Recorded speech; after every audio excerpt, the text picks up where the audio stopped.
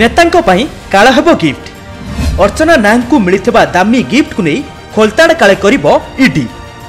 କେଉଁ ନେତା ଏତେ ଦାମିକା ଗିଫ୍ଟ ଦେଇଛନ୍ତି ଓ କାହିଁକି? ତାହାକୁ ଖୋଜିଲେ ସବୁ ବାହାରିଯିବ।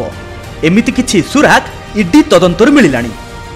ନାଗ ଫାଶରେ ଛନ୍ଦି ହୋଇଥିବା ନେତା ଓ ବେପାରୀଙ୍କ ଅଣ୍ଟିରୁ କଳା ଟଙ୍କା କାଢ଼ିବା ପାଇଁ ଇଡିକୁ ପକ୍କା ରାସ୍ତା ମିଳିନାହିଁ। ଯୁଆଡ଼େ ସନ୍ଦେହ ଯାଉଛି କିଛି ବାଟ ଯିବା ପରେ କାଳେ ବାଟ ବନ୍ଦ। ତେଣୁ ଏବେ ଇଡି ଗିଫ୍ଟକୁ ଧରିଛି।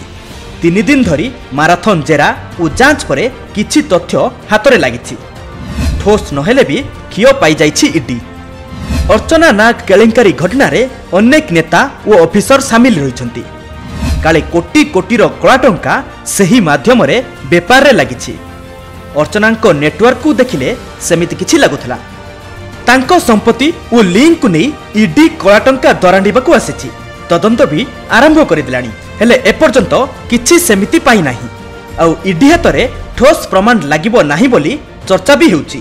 କାରଣ ଇଡି ଆସିବା ପୂର୍ବରୁ ସବୁ ସଫା କରି ଦିଆଯାଇଛି। ଏହା ପଛରେ ବି ବଳିଷ୍ଠ ଯୁକ୍ତି ଦର୍ଶାଯାଉଛି ଯଦି ଅର୍ଚ୍ଚନାଙ୍କ ଭଉଣୀଙ୍କ କଥାକୁ ଦେଖିବା ତେବେ କଥା ବଡ଼ ସାଂଘାତିକ।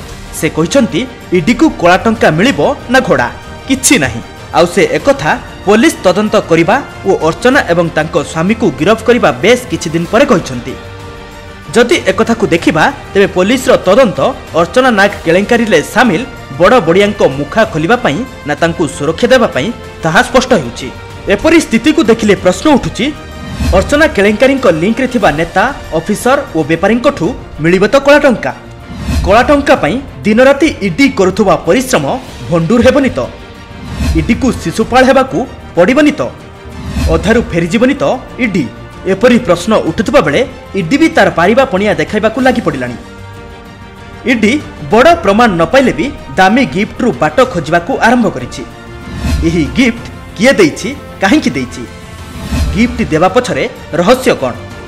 କେତେ ଗଭୀର ସମ୍ପର୍କ ଯୋଗୁଁ ଏପରି ଗିଫ୍ଟ ଦିଆନିଆ ହୋଇଛି? ଏମିତି ଯାଞ୍ଚ କରିବ। ଖୁବ୍ ଶୀଘ୍ର କାଳେ ଗିଫ୍ଟ ଦେଇଥିବା ନେତାଙ୍କ ପାଖକୁ ଇଡି ଯିବ ବୋଲି କୁହାଯାଉଛି। ଥରେ ନେତାଙ୍କ ପାଖକୁ ଇଡି ଗଲେ ସବୁ ପରଦା କାଳେ ଖୋଲିଯିବ। ତେବେ ଦେଖାଯାଉ ଇଡି ଏହି ଘଟଣାରେ କେତେ ସଫଳ ହେଉଛି ଓ କେତେ କଳା ଟଙ୍କା ବାହାର କରୁଛି। Bureau report the Quiver